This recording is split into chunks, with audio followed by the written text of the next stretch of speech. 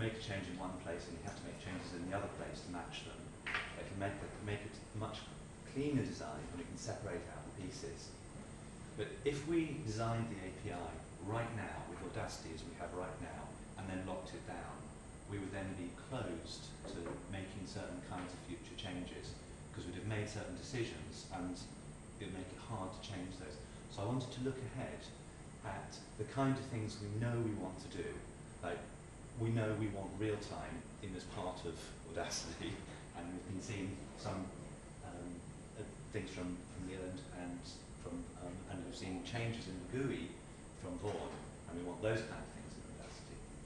Um, so I was trying out um, really just proof of concepts of some of the things we know we want to do, um, so that I can get the so that we can get the API sorted, so that we then aren't churning in the API saying, oh, this version is different from that version. You can't use this with that. Um, so.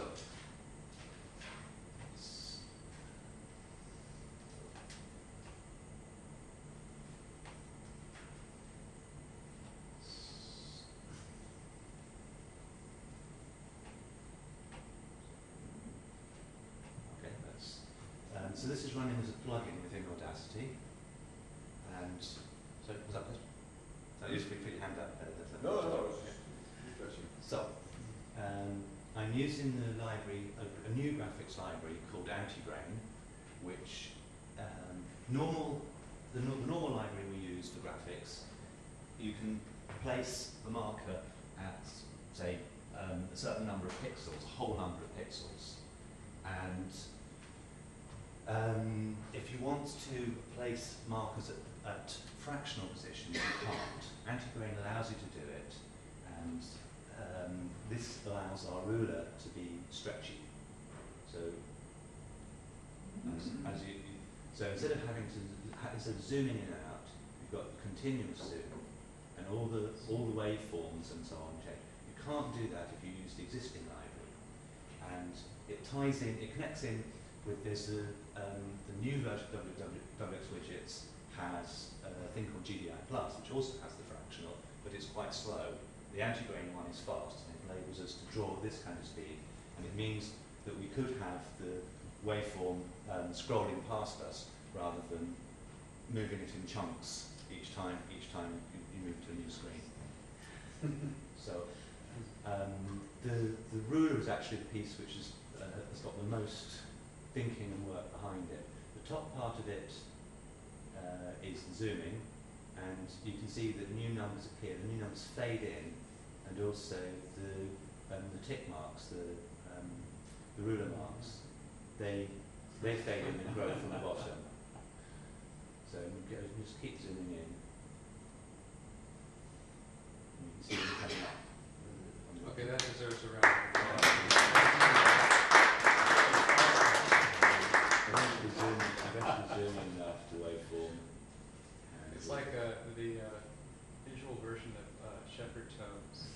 And you get the, you get the individual samples that you can then move around.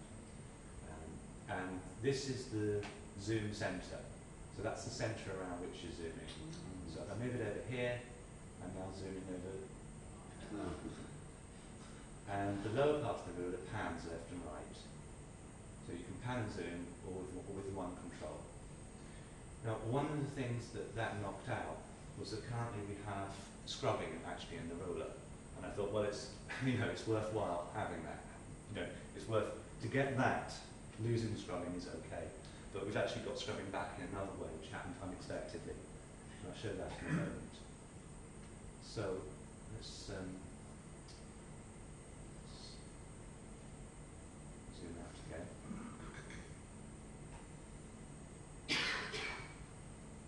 Can you still use shortcuts? We will be able to. At the moment, I haven't got the shortcuts implemented. So select some audio and play.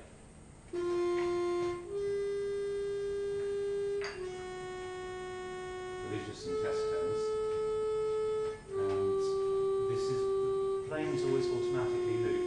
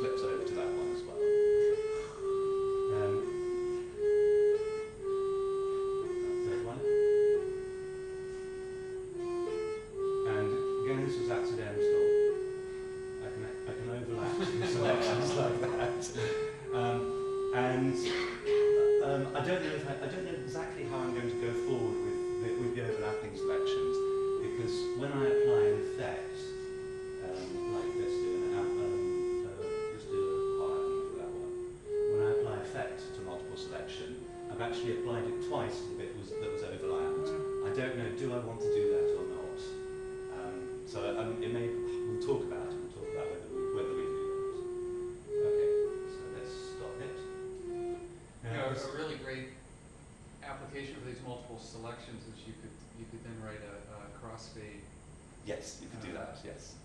uh, and, and you basically preview and adjust it while you're listening to the loop, Yeah. and then you can commit. I've, I found, I found that being able to um, adjust it and um, whilst you're playing, being able to zoom in on clicks, it makes a huge difference to being able to zoom in on the clicks. And if you're doing crossfade, being able to very precisely get the boundaries of your crossfade. So um, I, I've reduced the number of buttons at the top, um, and well, and like the pause, we don't need the stop button, we don't need the pause button, because you can just you can just start it and stop it. Um, I can do I can record. So I'm just doing a test recording, and you can see my voice here. Okay, stop that, and play it back. Doing a test recording, see, doing a test recording, And if you want overdub, or you can do them both at the same time. see, So I'm now doing a test recording. Well, this is not overdub because there's a, a delay between them, so we're getting the delayed sound. Um, so trying to reduce the number of controls and get more power at the same time. So I've I've got labels which are very like the labels we had before, um, except that I've I've transferred the colour from the labels to the to the audio as well. Um, and the um, let's so uh, s- so you can add multiple labels and you can add them in different colours and um, change the colours of the labels. So you just change the colour to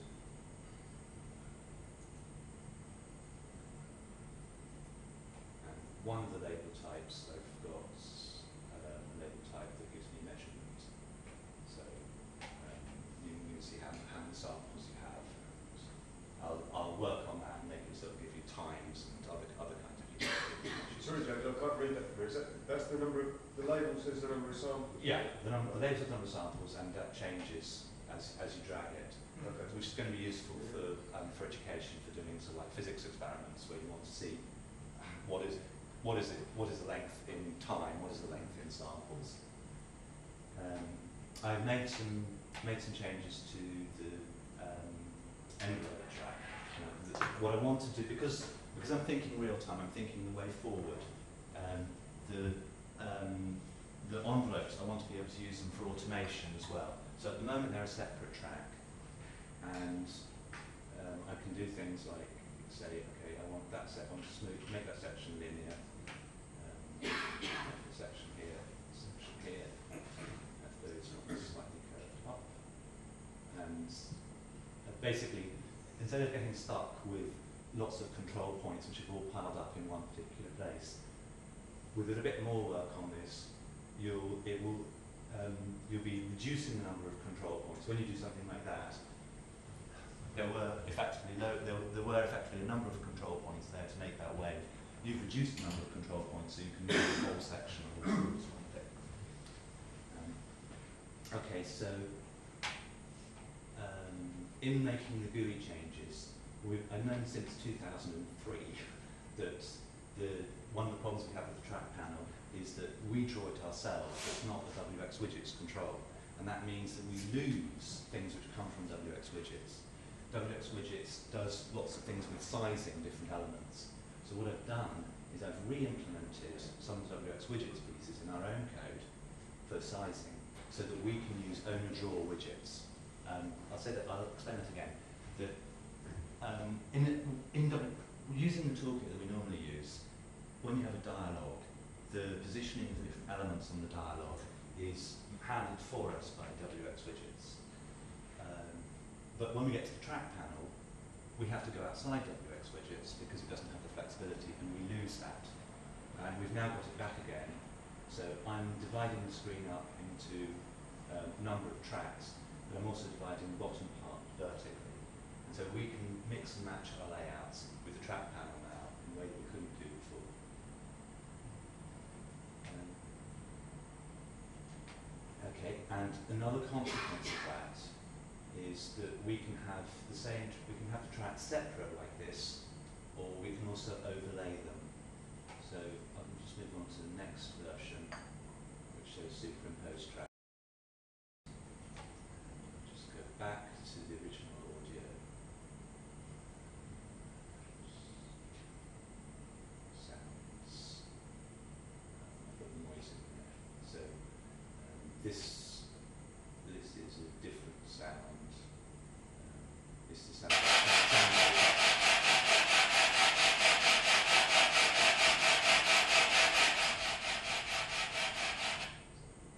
We're getting different views of the same audio, so you can customize lots of different views and switch back and forth between different views of the same audio.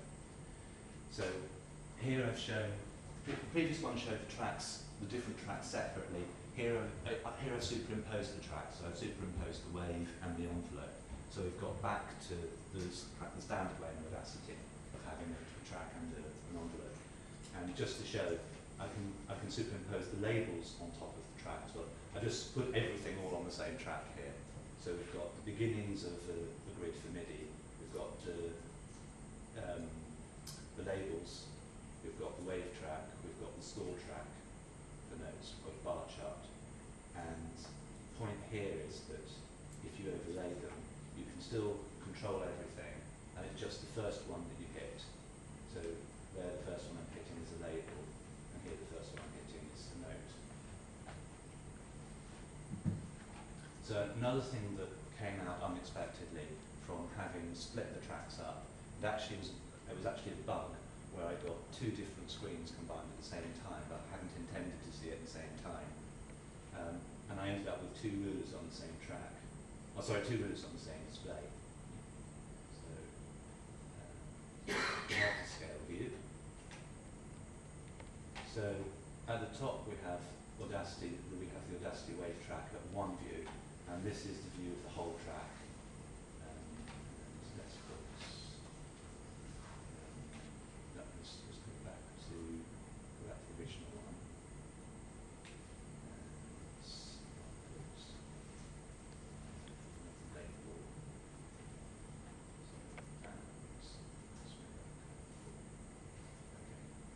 View, tracks.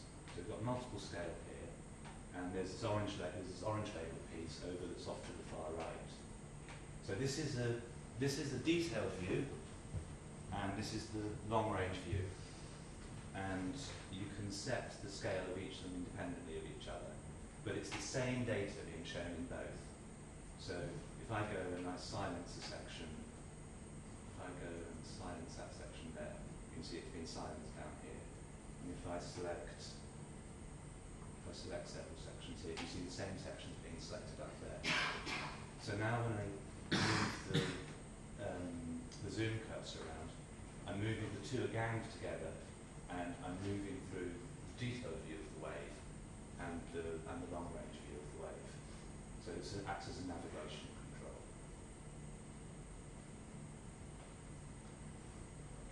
So one, one thing that I, I was sort of expecting here is, is, uh, as you navigate on the top, uh, there should be some thing on the bottom that says what you're looking at.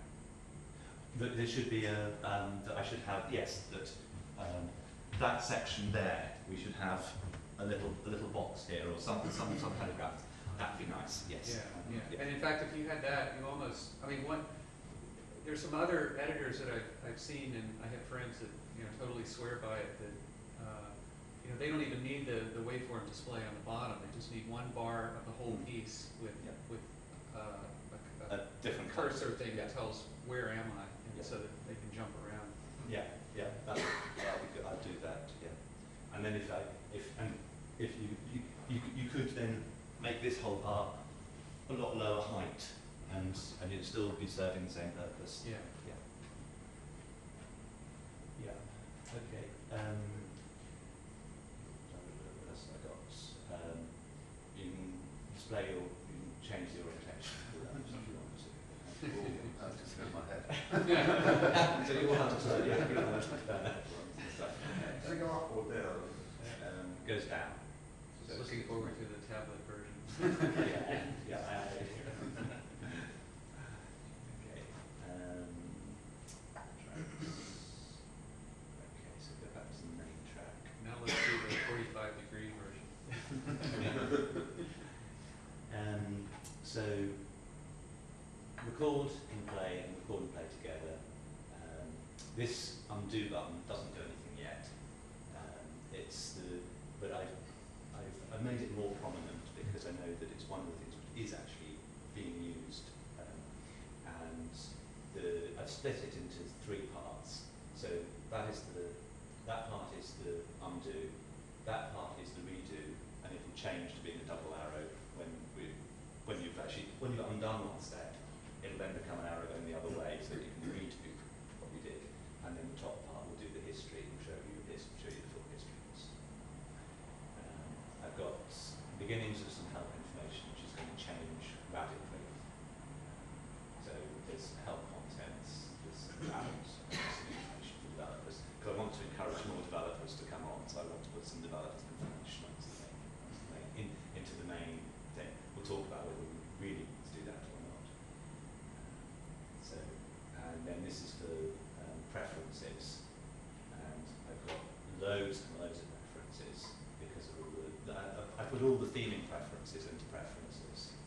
So, um, and because I've got so many, I had to have a way that you could navigate through them easily. One of the problems we have with the preferences dialogue is that when you categorize things, you can very easily end up with a category that just has two items and another category that has 30 or 40 items in it. And you're constantly, when you're designing it, you're constantly thinking, well, should I amalgamate these categories just to make it look right, to, to, to fit them together? So this actually solves that problem because I've combined a list control with a tab control. So you've got tabs effectively down the, down the left. So this top, this top tab is tracks, and that covers all tracks, all track types. And then the next one covers ruler tracks. So if I make a change in here, it will make a change to, um, to the ruler track. So, for example, let's say change the, change the white background to blue. So it's just made a change, it's made a, a change to it, and I'm using, I'm using anti-grain for the shading, so it's coming from, from dark blue down to white, so you can just make, you can make changes to the colour like that. Um, so the track one affects all tracks, that affects the ruler track, affects wave tracks, um, the s- scroll tracks, um, the button track, which is this one up here, um, text ones we haven't seen yet, bar chart track, that's the one down here, which isn't being used for anything, it's just showing the bar chart. Um, the label tracks, and those are the different colours possible for the labels. So if you change that one, all those labels will change. Um, spectrum track, which is what that will become. Um, envelope, screen controls mode, and MIDI. So there's, um, I think there's maybe 160 different parameters here, but you don't feel like you're over- overloaded with different parameters from doing that. Um, so- okay, so just uh, another couple of things. I've been talking with teachers about um, using computers in education, and through that I've been volunteering to an organisation called Code Dojo, teaching kids to program. And I've seen kids learning to program really fast using a language called Scratch, which is a drag and drop um, computer programming language. It's lovely and it's fantastic seeing them seeing the, their numeracy skills, they can they improve and they can do musical things with it as well. So long-term goal is to combine Scratch and Audacity. So we have a Scratch, a Scratch version of Audacity. Um, and uh, I've got beginnings of that here. So I thought you were going to say, Martin, the long-term goal is to recruit, uh, James, sorry, the, uh, the, the long-term goal is to recruit a, a whole uh, cadre of uh, Code Dojo Kids, yeah, them, them contributing open source. Yes, I love Yeah. that. um, so, and I've put, a, I've put one of these multi-scrolls on the left so that um, all the different drag and drop things can be on the left and you then just take them from these and drag them to the right. And that's what a, a very simple Scratch program would look like. But you could, you could be putting a loop and then in there you could put drum beat one, drum beat two, drum beat three. Or, um, it's basically, it's just like a programming language. And uh, there's another one of those down here, which is a little bit more complex. And I've done is it's a slight evolution of Scratch. Um, in Scratch, you, you can drag these individual pieces and slot them together. I've combined it with the text editor, so I can go in and I can select a piece of text. So you can use the Scratch editor both as a Scratch drag and drop editor and as a normal text editor as well. Um, So it means that, one of the objections I get from um, professional programs is um, Scratch is a toy language, serious programming. I'm going to change that to the Scratch. It's going to be, you can, because it's got a normal text version of it, you can make big programs with Scratch, just not, not just tiny ones. Yeah, uh, yes, I, I made the point about the multi-scrollers, that you can get a tremendous amount of information into them. Um, this is actually, if in each century there are about um, 700,000 hours, and you can, you can put all the century, you've got, we've got multiple centuries here, so let's say we're going to go for two, year 2014, July, it's the 12th today, so and it's a Saturday. And the time is it's 11 o'clock. No, it's uh, 10, 10.30, so I don't have, I don't have the half hours. But, and so each century has sort of 700,000 entries to it. You can navigate through a huge quantity of data putting a few levels onto a multi-scroll. Okay, um, so where's this taking us? Um, come back to the API. This is a plugin within Audacity um, that uh, it's been it's begun to flesh out the plugin architecture, how we can plug in not just effects, um, not just um, new, more powerful analysis plugins like the one ones that Martin was showing, but we can plug in individual track types and new GUI elements. Um, so it's taken us a step forward on that. What, I'm, what I think will be happening is that we will be folding more and more of these pieces into Audacity over time. Um, so that we will, probably the first thing we'll get into Audacity will be the flexible ruler. Um, and it gives us an architecture which we can build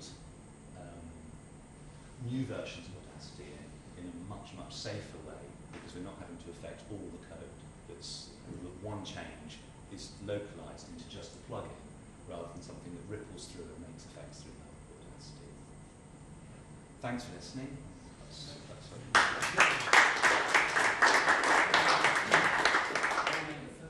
You've actually managed to dispense entirely the track controls. Yes, this, it this is, this, is the trial of the new track control wheel.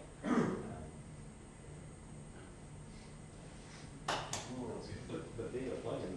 It's a plugin, yes, so you've got the two, you've got the two side by side. Exactly, you, you, you can actually, you can touch. It's them. proof of concept, there are loads of limitations on it, there are loads of things I'm not doing, that is, um, there's no file loading and, uh, and saving with this yet, and there's no link between, there's no link Right, between right. Yeah.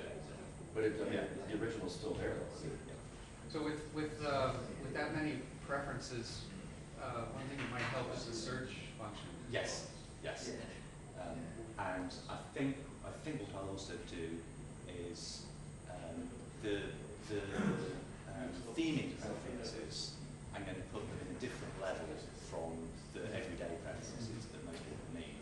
And you'll need to do kind of a special handshake to get to the theming preferences because it's going to confuse most people. So, oh my goodness, I've got you know, 100 different colours that I can change. Yeah.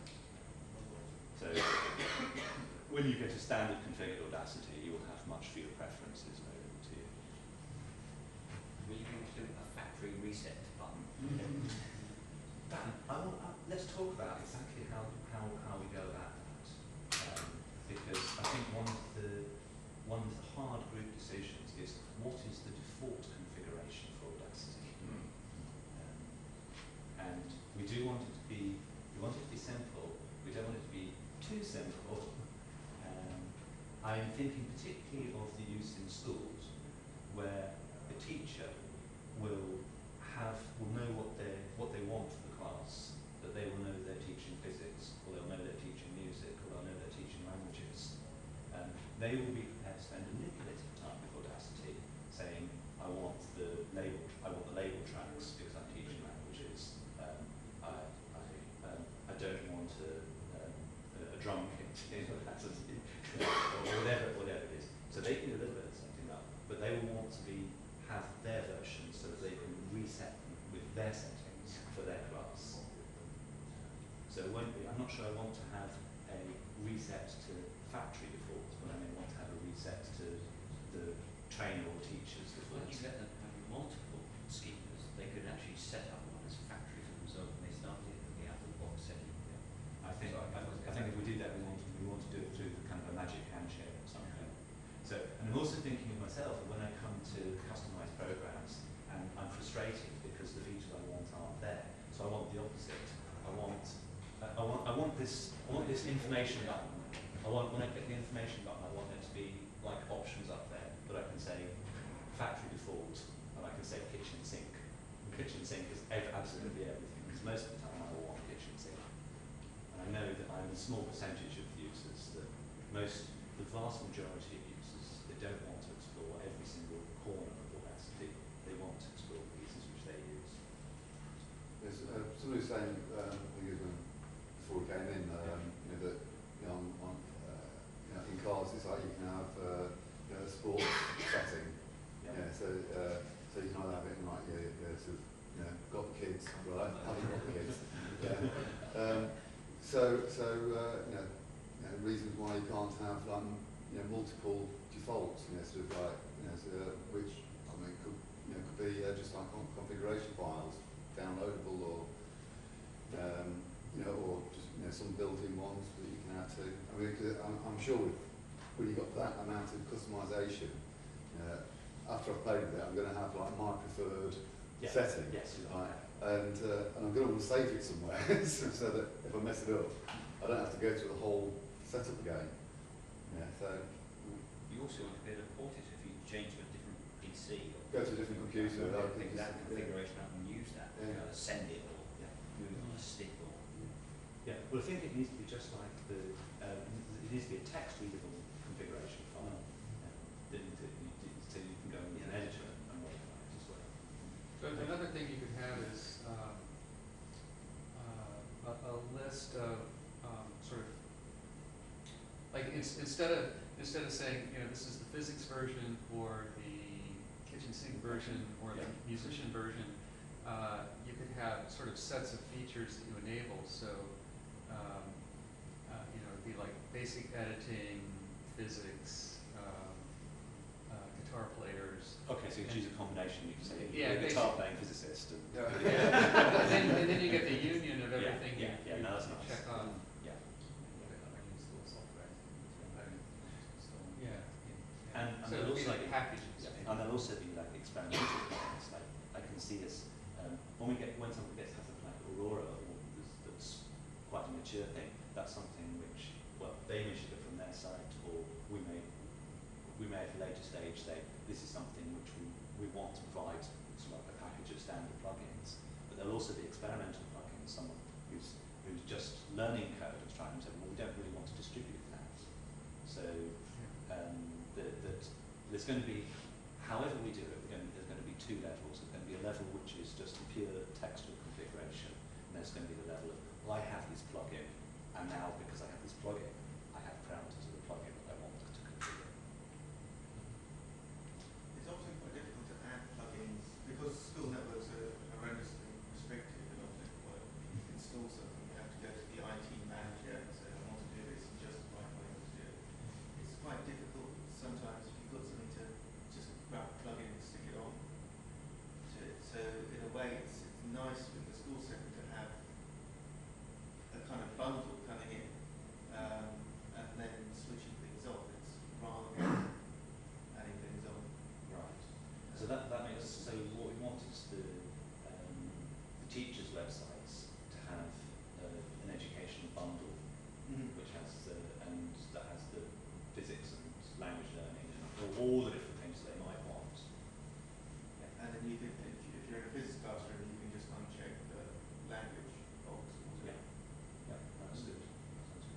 maybe we just, you know, our bundle is the kitchen sink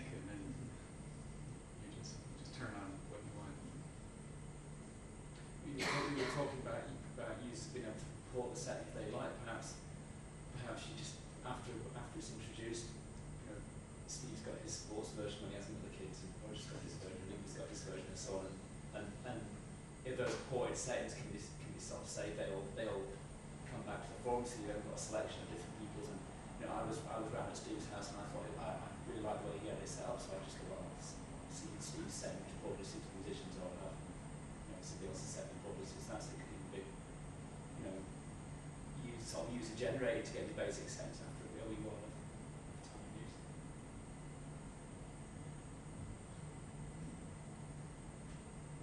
So you're talking about sharing the acceptance?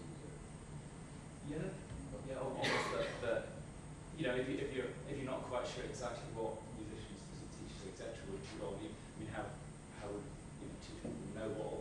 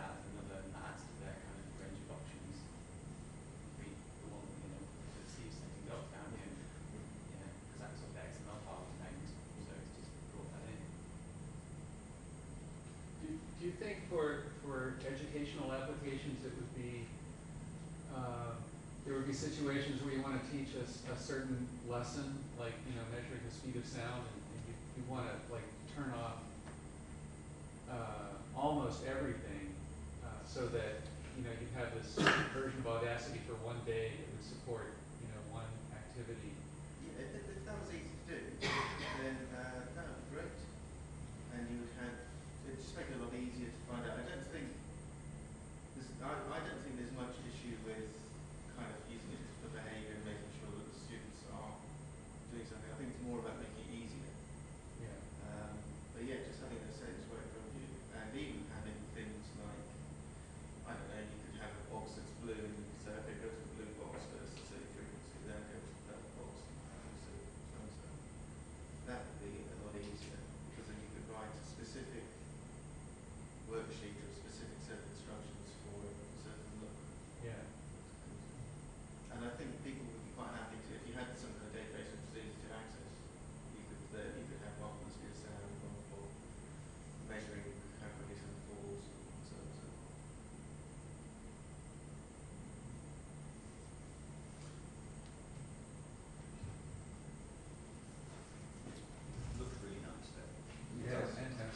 It's a bit vocally,